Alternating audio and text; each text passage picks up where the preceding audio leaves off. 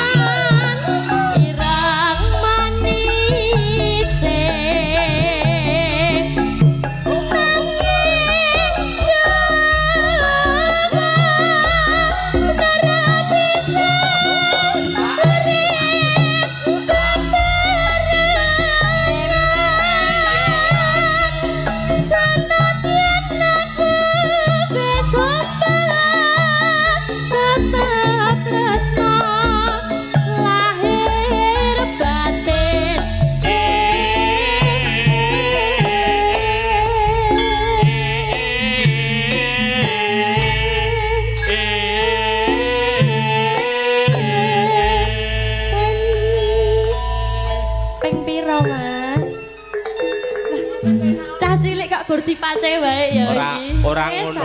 Iki lah ketuane kae tukang ngendang. oh tukang kendange ketuane Kae ketuane. lah wong ya tuwa dhewe Lah iya. kene iki genah enom-enom ngono kok ya oh kene iki tuwa sithik di ngono kok Lah iya mula tuwa sithik pateni. hati-hati wae sing tambah usiane Ora. Mas Iki Kentang, Mas Kentang. iki ketuane lak sing ngendang. sing ngendang Wakile kae sing ngendang Jaipong jenenge Mas Bambang. oh Mas Bambang Bambang Sumantri apa oh rawani aku Ah, Dek Lala. nggih Mbok Indebik roh solahmu iki kelingan nom-nomane oh nom-nomane biyen Heeh, ya ngene iki. puluh tahun kepungkur oh lah udah ta Apa iki umur iki wis 50 punjul Oh. iki. Pak Suryane iki lho ah, cantik ngo wis sepuh cantik kok Di.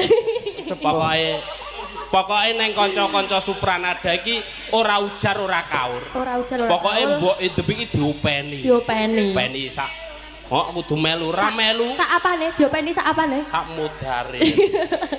Pokoke iki matur nuwun karo Mas Joko. nggih Sing nimbali Mas Joko ngger Supra mbok Indebik kudu melu. Kudu katur. Mergo nek gak melu iki gak sida tanggapan. gak sida Ora sida. Lah sing ngusungi alate sapa? oh anu to nyambi meniti berarti oh lah nggih Iya, heeh. Mula iki karo golek dobelan kok iki karo Mas Joko lek Wahyu Mulya iki lak bagian jok solar. Oh ngoten jok solar kali usung-usung diesel glow nganti meteka ngoten.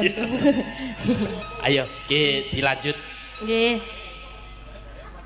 Manjalaran pepisahan